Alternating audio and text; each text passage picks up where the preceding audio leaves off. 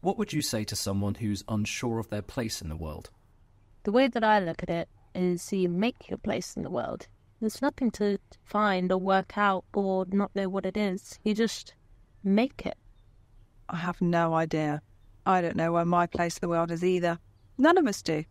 Who cares where your place in the world is? You belong right here with me. I'd ask them, what do you do that brings you happiness and that you enjoy? Like, I'm pretty bored right now. I don't have anything to do, but I'm going to start going to the gym.